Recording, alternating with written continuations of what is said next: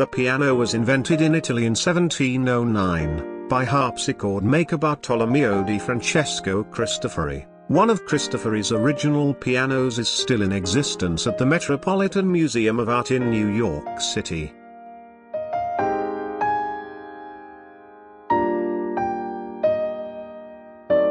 The word piano is the shortened version of the word a pianoforte, which means soft, piano, and loud, forte.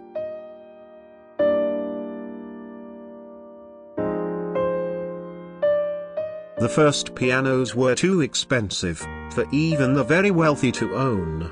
For nearly a century, only aristocrats and royalty owned pianos.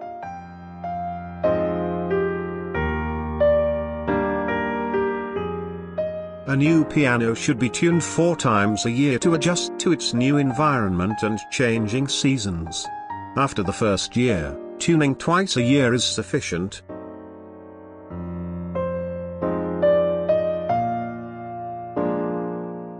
Pianos have a total of 88 black and white keys. Almost every modern piano has 52 white keys. And 36 black keys for a total of 88 keys.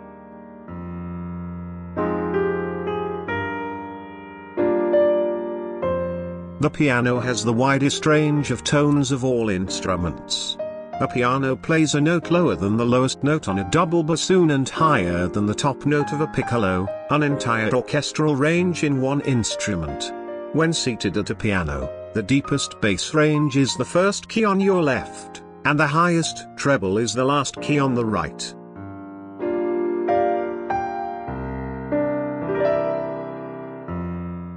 The piano is an incredibly intricate instrument. It has over 12,000 parts, 10,000 of which are moving.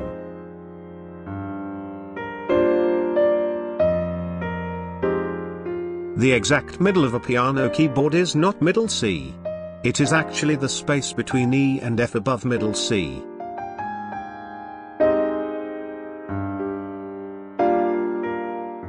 The piano can be considered both a string and percussion instrument. Most categorize it as a percussion instrument because hammers strike the strings inside to produce sound.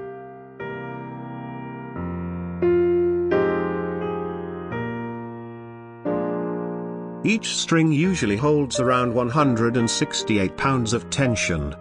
The total tension of most standard pianos is around 18 to 20 tons, some of the largest grand pianos hold up to 30 tons of tension.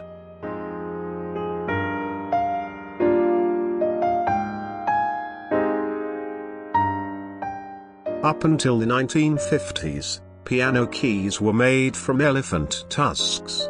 Today, in order to protect and preserve elephants, most piano keys are made from plastic.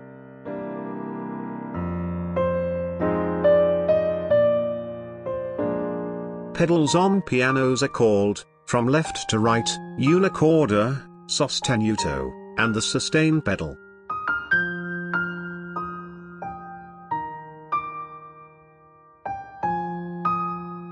The largest piano ever made weighs 1.4 tons and is 5.7 meters long.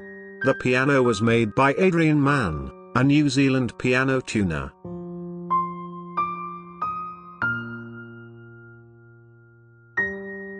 Polish musician Romuald Koperski holds the record for the longest piano concert ever held, 103 hours and 8 seconds long.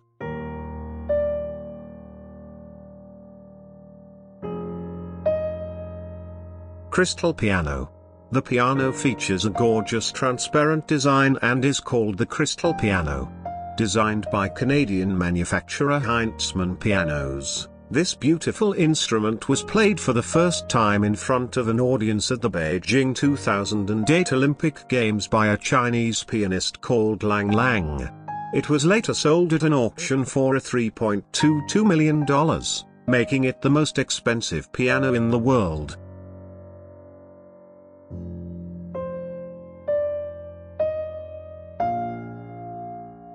Galaxy Piano. Priced at $1.36 million, the Galaxy Piano is among the world's most expensive pianos, boasting a body made completely of 24 karat gold, made in the United Arab Emirates.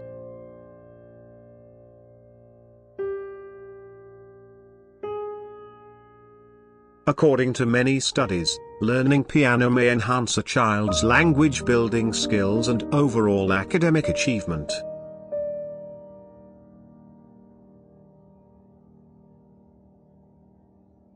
Pianos are more likely to stay in tune when they are not in overly damp or overly dry environments.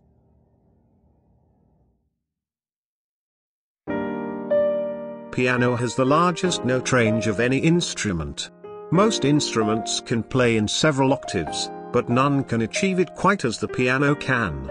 A typical 88-key piano can play up to 7 octaves. That's not even counting pianos with extra keys that can add an additional 2 to 3 octaves on top of that. That is by far the widest range among any musical instrument. This makes the piano a versatile instrument that can play a wide range of literature and evoke emotions.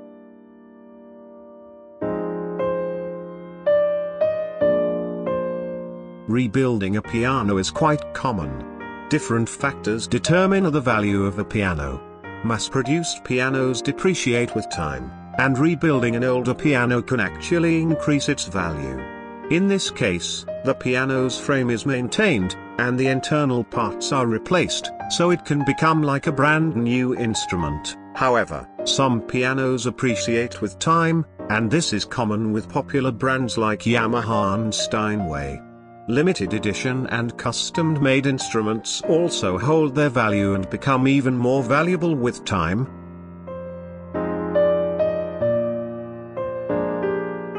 In grand pianos the frame and the strings extend horizontally.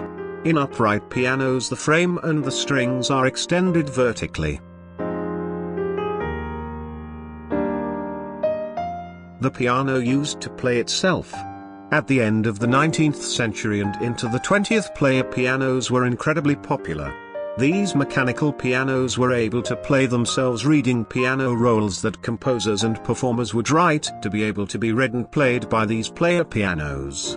These were great ways for people to be able to have music in their home before electricity allowed people to be able to listen to the radio or gramophones.